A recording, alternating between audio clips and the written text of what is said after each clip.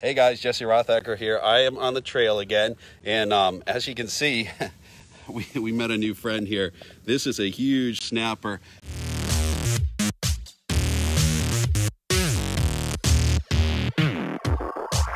As far as snapping turtles go, it's about as big as you're gonna get. So what I'm gonna do in this video is I'm gonna give you a close look at the snapping turtle so you can see uh, some of the equipment that they have. He needs to go across the trail, the river's over on that side, and so we're gonna make sure he gets across the trail without getting hit by a bike, without getting mixed up uh, with a hiker or a dog walker. So I'm gonna show you the safe way to do it. Uh, we did do a picture just the other day. It's not safe to pick up a snapping turtle by the tail. Uh, that can really hurt their spine. It can damage their spine and even their shell. Their, their spine ribs are part of the shell. So we'll do a quick demonstration demonstration here. Before I do that, I want to show you just how big this turtle is. So let's see, what can we use?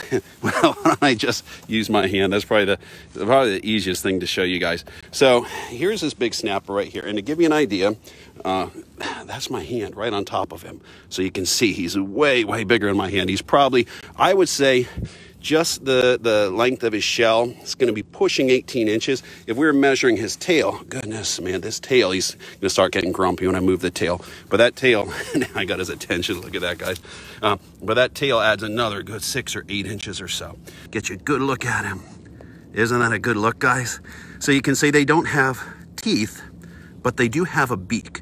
So right now, gosh, I'm probably about, I'm going to say 12 inches away from him. So I should be right at the edge of his bite radius. I'm trying not to go into it, um, but really handsome little guys. You can see his nostrils, you can see his eyes, um, and he's got a lot of, he has a lot of neck skin around there because that neck has some reach on it. The other thing you'll see on him are these dinosaur-like claws. Take a look at those claws, guys. Are those cool? Let's get a close look at those before we move them across.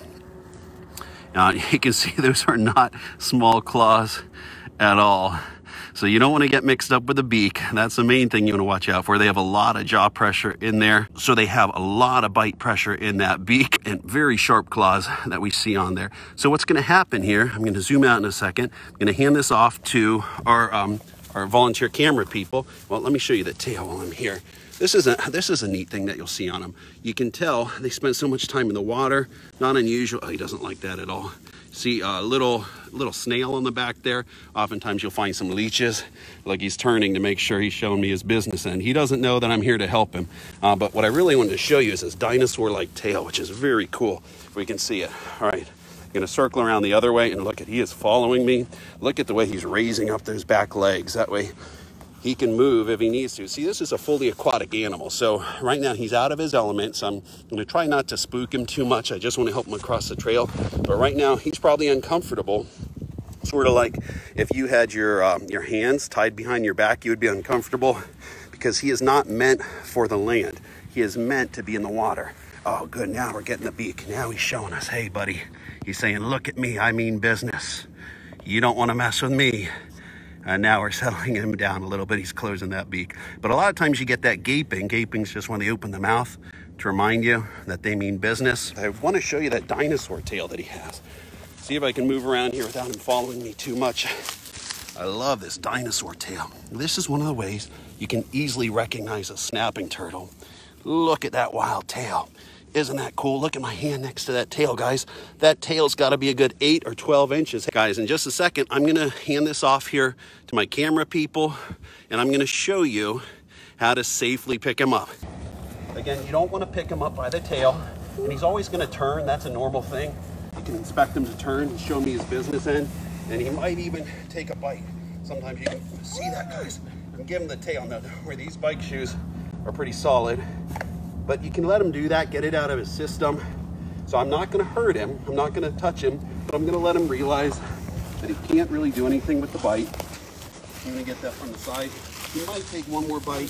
Usually, usually they realize that there's no reason to bite, that we're not hurting him, but he just wants to show us he means business. Isn't that pretty cool? Now I'm gonna spin around him. I'm gonna pick him up the safe way.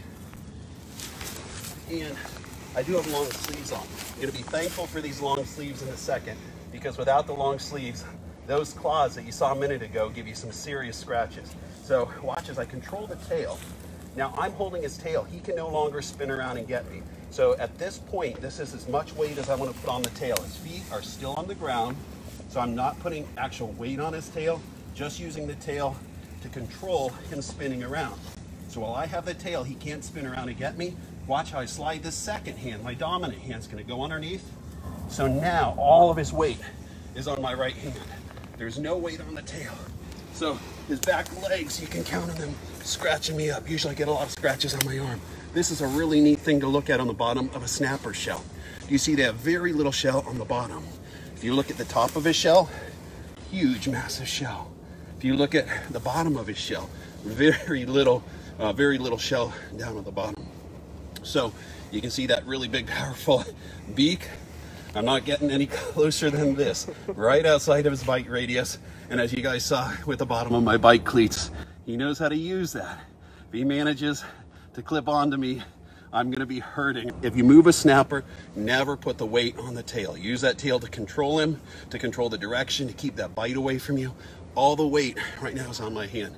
That's why I'm starting to breathe like this because he probably weighs about 30 pounds, 40 pounds. So all we're going to do is gonna head him uh, right across uh, the trail here towards the river. This is the direction that he was facing when we got here. He looked like he was about ready to cross towards the river. So we're gonna get him over there. Uh, if this was May or June, I would not touch this turtle because I'd assume it's a female. I'd assume she's nesting. By the size of that tail, oh wow, here's a neat anatomy lesson. So uh, he is actually putting out some of his male parts here for some reason. So sorry if you have kids watching, but I think that tells us now for sure we're looking at a, at a male and actually kind of an excited male. But this one's probably coming out of hibernation. I'm guessing it's probably in a muddy pond on this side of the river in the colder months, and it's probably ready to go back into the, the big river for the warmer months. So we're just gonna walk him across here. You can follow us. And we're not gonna take him all the way to the river. He's gonna swim right down here. Whew. It's a heavy, heavy turtle. So, now we have a turtle that has been safely moved across the trail. You hear a train right behind me. But since we got him over there, we can now let him go on his way. So thanks so much guys for giving reptiles a chance. Have a great day.